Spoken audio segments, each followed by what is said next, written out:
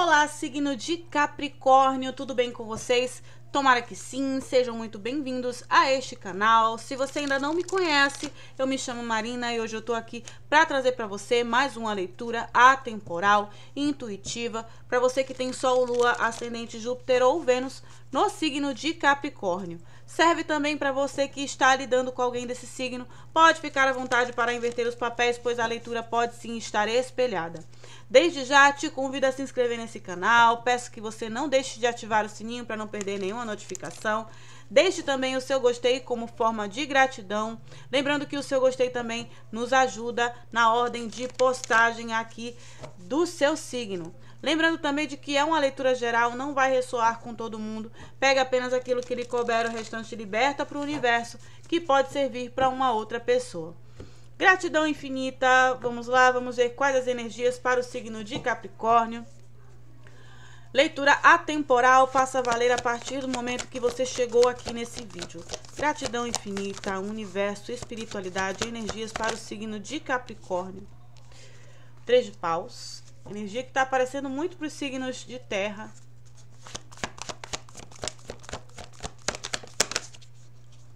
Hum... Três de paus, três de espadas.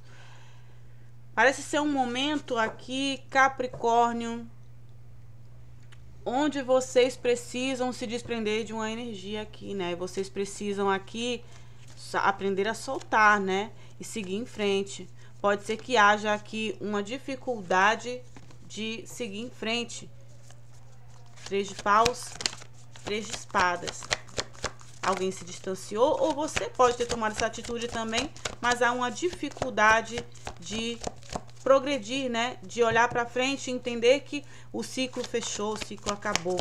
Vamos ver mais energias, por favor, universo espiritualidade, energias para o signo de Capricórnio. Gratidão infinita, vamos lá.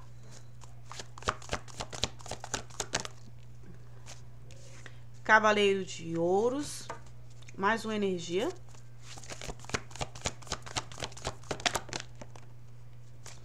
Dois de paus. Gente, mais energias, por favor.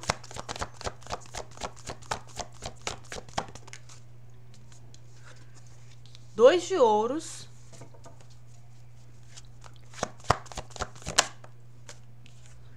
Quatro de ouros. Estou falando... Tem mais um, uma energia aqui que fala um pouquinho dessa dificuldade. A carta caiu no chão, gente. Cavaleiro de Espadas, a carta que estava no chão. Vamos lá, mais energias. Ih. Rei de Espadas. O que está acontecendo aqui, meu pai? As de Espadas, Imperador. Gente, se vocês estiverem forte aí, né? um, um signo de Libra, né? O signo de Libra, dá uma olhadinha lá na leitura do signo de Libra, tá? É, pode ser que tenha alguma mensagem lá para você.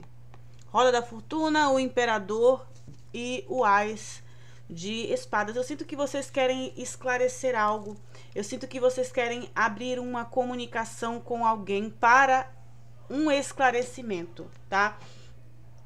É como se Capricórnio, né? Ou vocês, lógico que a leitura pode estar espelhada, ou alguém aí é, que vocês estavam lidando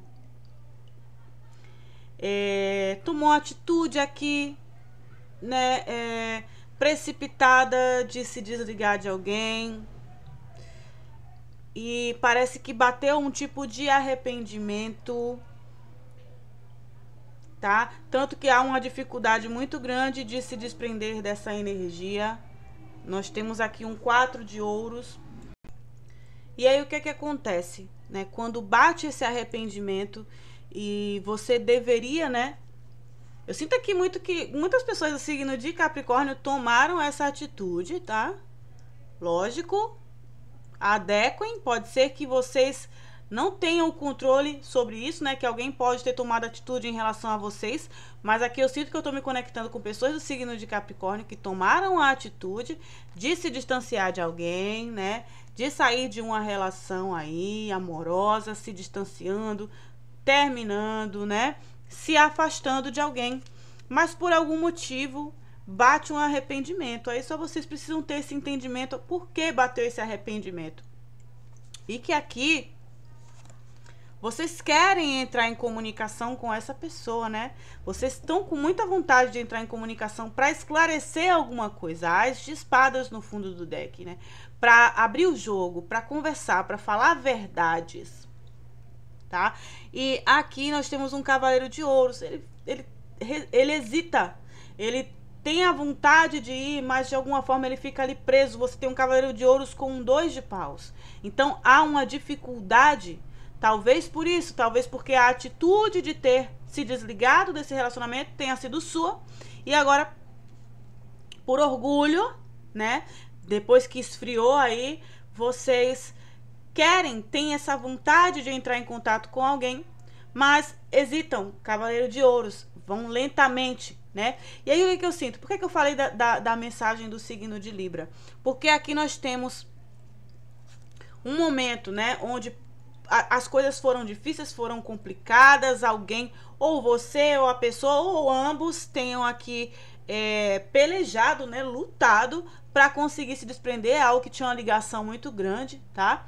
E tinha apego, pode ser financeiro também, mas eu sinto aqui muito emocional, né? Embora não tenha energias de copas, então foi difícil, né? Então vocês passaram por momentos aí, tanto você quanto a outra pessoa tortuosos, complicados, até entrar nessa energia de equilíbrio e de aprender aqui a soltar, aprender a desapegar. Então foi bem desafiador esse desapego. E talvez isso por si só já explique muito dessa energia de hesitação, né? Por que, que eu eu tô com tanta vontade de entrar em contato com essa pessoa, mas eu não entro em contato com essa pessoa, porque você sabe que essa pessoa sofreu para se desprender dessa energia. Até você mesmo se sofreu para se desprender dessa energia e aqui tá com essa essa ânsia de recaída, digamos assim, tá? Então, precisa ter, tomar um pouquinho de cuidado, porque você tá querendo abrir uma comunicação rápida, né? Engraçado que tem um cálculo, você está calculando bastante, está hesitando, mas no momento que você resolve tomar uma decisão, tem essa tendência a você não pensar direito, simplesmente mandar a mensagem, simplesmente falar o que você sente, se abrir. Eu sinto que essa pessoa pode sentir da corda, essa pessoa pode é, se abrir para você, mas vai ser bem desafiador. A energia do Rei de Espadas, o Imperador também estava no fundo do deck, tem uma certa dureza, tem uma certa rigidez aqui para aceitar, né, esse, é, essa nova comunicação que vocês estão pensando em fazer. Então, é livre-arbítrio, como sempre, mas é, se é o que vocês querem, no entanto, vai ter aqui um desafio, né? Essa pessoa vai estar tá mais rígida, essa pessoa vai estar. Tá... Até porque, gente, tem um processo aqui de cura, né? Então, foi um processo e essa pessoa está buscando respeitar esse processo. Então, é, vocês que sabem aqui se tem sentimento, se vale a pena, mas é, muito cuidado porque essa pessoa tá bem ferida. Não, não é que ela esteja ferida agora, mas ela respeita tudo que ela passou pra é, é, estancar essa ferida, digamos assim. Então, por isso que tem uma rigidez, por isso que tem aqui uma certa é, um rigor aqui, até mesmo um pouquinho de soberba, a energia do imperador, né? Pode ser que a pessoa se coloque aí num pedestal e, e até mesmo passe na sua cara esses momentos, né? Eu sofri, eu tava pegado e agora que eu consegui, você vem atrás. Então tem muito isso aqui. Ok? Capricórnio, é isso que eu tenho para vocês no dia de hoje. Espero do fundo do meu coração que eu possa ter te ajudado de alguma forma. Mais uma vez te convido a se inscrever nesse canal, deixar o seu gostei para ajudar na expansão do canal. Um grande beijo no seu coração e até a próxima leitura. Gratidão.